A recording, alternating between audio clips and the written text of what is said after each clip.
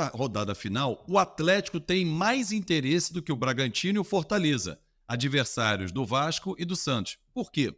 O Atlético não está garantido ainda dentro do G4, aquele grupo que vai para a Libertadores.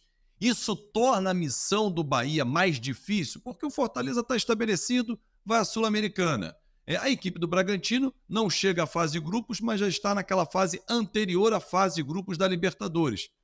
A missão do Bahia é mais complicada por isso, porque o Galo tem muito interesse nesse jogo? Eu acho que sim. É, a missão do Bahia é mais difícil, não só por causa disso, né? Como também o Galo. É lógico, né? A gente já disse aqui, o Palmeiras é realmente o virtual campeão de 2023 mas, sei lá, numa hipótese do Cruzeiro ganhar muito bem, sabe, ter 4 a 0 no Palmeiras e o Galo ganhar de 5 a 0 no Bahia, dá Galo.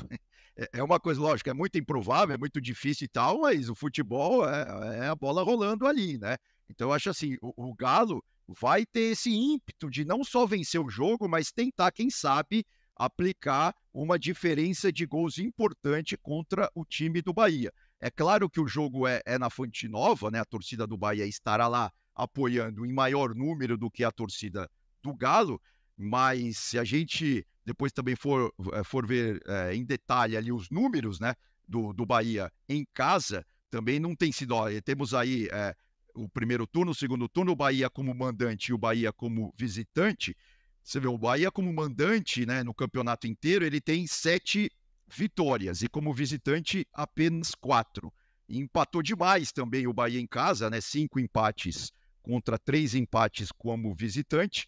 E aí, em termos de derrotas, tudo bem que o Bahia perdeu mais fora do que dentro, mas sem dúvida nenhuma é um compromisso muito complicado para o Bahia.